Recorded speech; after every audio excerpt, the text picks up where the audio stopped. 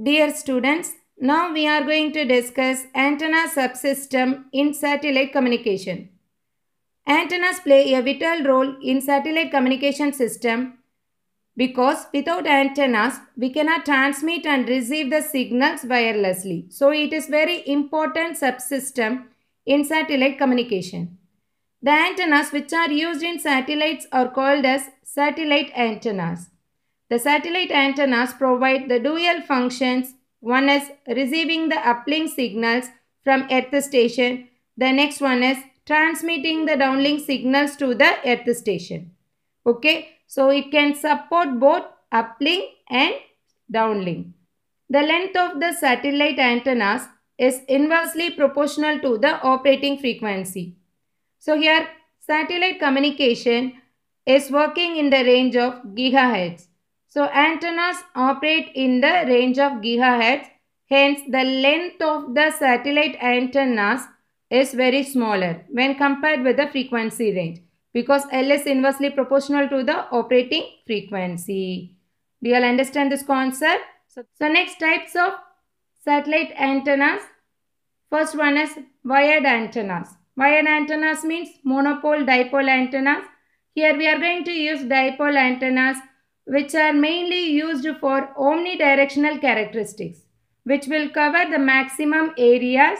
Okay. So here it is widely used in very high frequency ranges to provide the communication for telemetry tracking and command subsystem. Okay.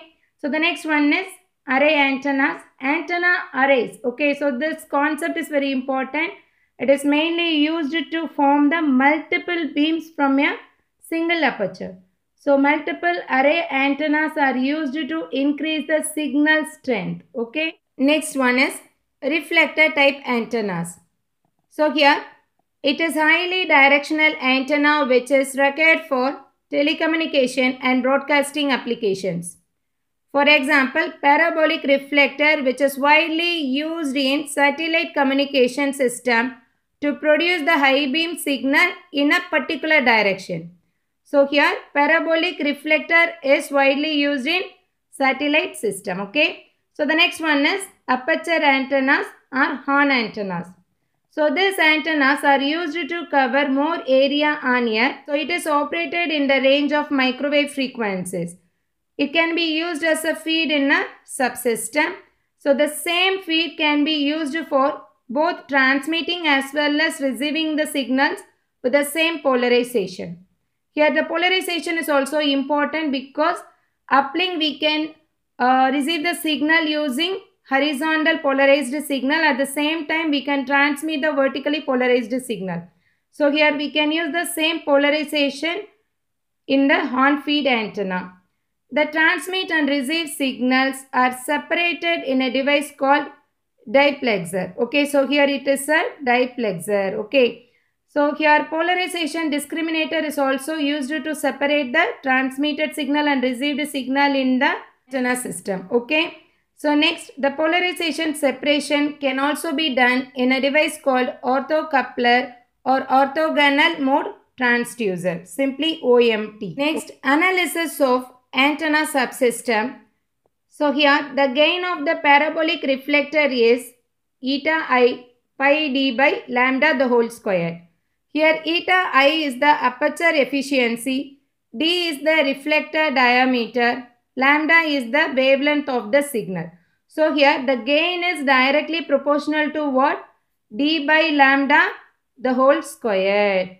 Okay, so this ratio is very important in antenna design for the satellite system. Okay, so next 3 dB beam width. So as you all know that beam width is very important concept in antenna system. So here we are considering the 3 dB beam width. Okay. So this value is given as theta 3 dB is approximately equal to 70 lambda by d. So in this one the beam width is inversely proportional to the ratio d by lambda or we can say directly proportional to lambda by d. Okay. So this concept is important. So from this two analysis, gain is directly proportional to d by lambda the whole square, but the beam width is inversely proportional to the d by lambda ratio. So here gain as well as beam width these two parameters are depending on the ratio d by lambda. d means diameter of the reflector lambda is the wavelength. So we can increase the gain by increasing the diameter or by decreasing the lambda. So do you understand this concept? Here we can increase the gain by increasing this diameter or decreasing this wavelength.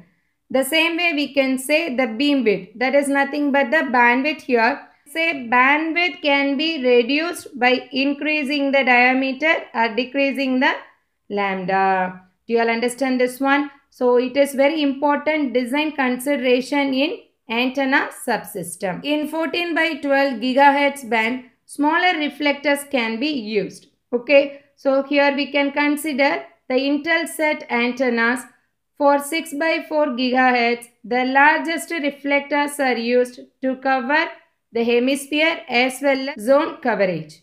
Okay, so horn antennas are also used to provide the required beam shape. Okay.